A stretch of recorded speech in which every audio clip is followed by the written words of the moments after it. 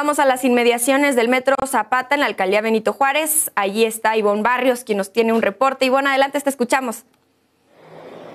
Así es, que tal? Muy buenos días. Un placer saludarte desde aquí, la zona de Benito Juárez, justamente sobre eje 7 Sur, en donde ahora mismo elementos tanto de vigilancia del metro, de la Secretaría de Seguridad Ciudadana y de Protección Civil están realizando la revisión de una mujer que habría caído a las vías del metro. Importante mencionarlo, la mujer se encuentra en condiciones eh, relativamente estables. ¿Esto qué significa? Bueno, de acuerdo con lo que las autoridades han logrado revisar, podría estar politraumatizada y posible intoxicación por medicamentos.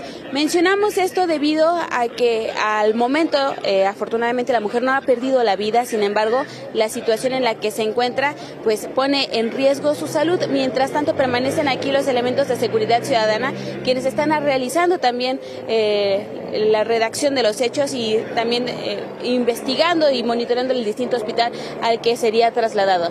Importante mencionar los elementos de seguridad y de emergencia que habrían llegado hasta este punto, así como de la Secretaría de Gestión Integral de Riesgos y Protección Civil.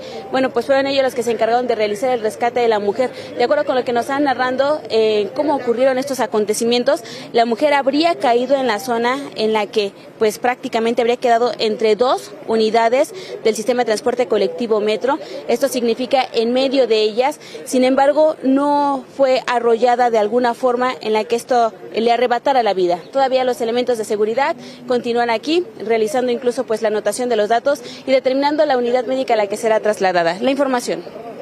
Ivonne, muchísimas gracias por este pues, lamentable reporte. Vamos a seguir muy pendientes. Afortunadamente ya están ahí los servicios de emergencia.